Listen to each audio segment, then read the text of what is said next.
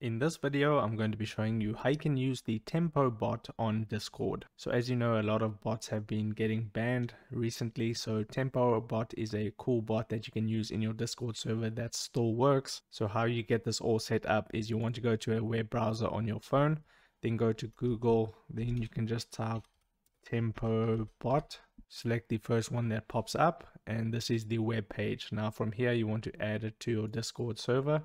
So make sure you're logged into your Discord account. Then I'm going to select the server that I wanted to go into, this one right here, click on continue. Then I'm going to authorize it. I am a human captcha, all good to go. And just like that, it has been authorized. So I can go back into Discord and you can now see the Tempo bot in my Discord server. Now to, now to use the bot, you need to go into a voice channel. So here's my voice channels. I'm going to go into general and I have been connected. So now what I need to do now is I need to go into the chat box and you need to put this symbol in there first, like that arrow pointing to the right hand side. I'm not too sure what it's called, but put that command and then type join, hit enter, and then you'll see Tempo bot get added to the general voice channel.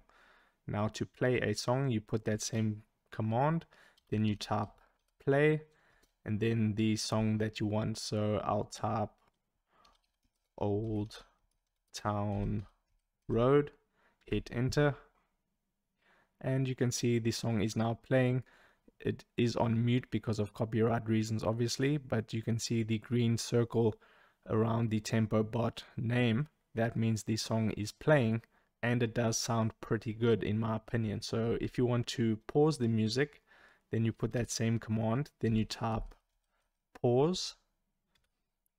And the command should pop up there or just will pause the music. You can see the green circle has been removed. Now if there is a queue of music that has been put in a queue and you want to clear that queue you put this command that arrow and then you put clear. And that should clear the music queue. And you can just repeat that process and you just tap play then I'll tap uh, features. So you can basically just put the first name of the song and it should detect it if it's a popular song. Then hit enter. And then that one has been put into the queue because the other one didn't really finish playing.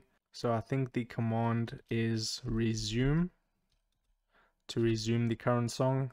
Yes, that is the correct command to resume the song you tap resume and you can see that green circle is now around there again. I can tap pause.